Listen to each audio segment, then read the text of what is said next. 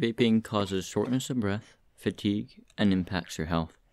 Physical activity becomes difficult and motivation towards physical activity decreases. Inflammation of the lungs can lead to serious health problems. Permanent lung damage means permanent, not temporary. If you or someone you know needs help stopping to vape, please visit smokershelpline.ca.